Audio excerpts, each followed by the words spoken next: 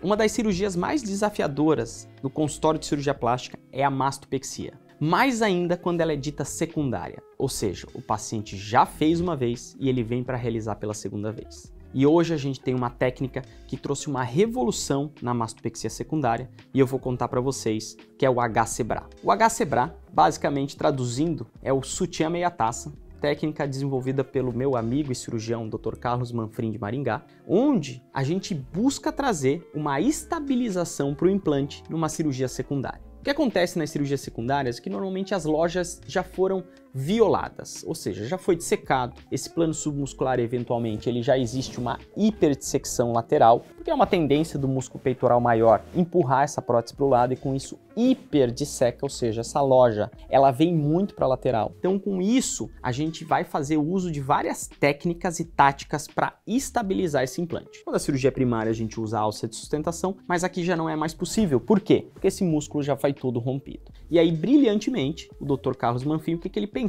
Eu vou utilizar uma parte da cápsula que o paciente sempre desenvolve quando ele coloca o implante previamente. Então essa cápsula, ao invés de a gente jogar ela toda fora, como era isso que a gente fazia no passado, hoje a gente vai utilizar um pequeno pedaço dela para conseguir estabilizar o músculo ao redor do implante. Associado a gente vai fazer algumas manobras de popcorn, dito do inglês a pipoca mesmo, porque a gente queima toda essa cápsula aqui na porção lateral. Ela vai produzir um barulho de pipoca estourando, por isso que veio esse nome. Associado ao uso das suturas farpadas, o fio farpado, para a gente conseguir fechar bem essa loja aqui lateralmente e, eventualmente, o levantamento do músculo peitoral menor, para a gente conseguir uma loja mais estável. E após isso, a gente vai colocar o implante e vai trazer essa cápsula que vai estar tá costurada, vai estar tá fixa aqui na borda muscular e a gente vai costurar ela embaixo. Com isso, a gente traz uma estabilização muito grande para o implante, que a gente dificilmente conseguia nas cirurgias secundárias. Com isso, hoje tem uma revolução, cada vez tem sido mais comum a procura de pacientes por cirurgias secundárias da mama, porque realmente mudou. Eu digo que a cirurgia mamária de 5 a 10 anos para cá, ela teve uma mudança totalmente assim, foi drástica, principalmente no que a gente entrega de resultados e no que a gente tem conseguido de corrigir de alterações que paciente, os pacientes têm de cirurgias prévias. Então, o HCBRA é muito bem-vindo, só agradecimento agradecimentos ao meu amigo e cirurgião e hoje a gente tem essa arma no nosso arsenal aqui na Schmidt Clinic. Tá certo, pessoal? Não se esqueça de seguir a gente aqui nos canais do YouTube, no Instagram, que a gente vai ter um prazer imenso de produzir conteúdo para vocês.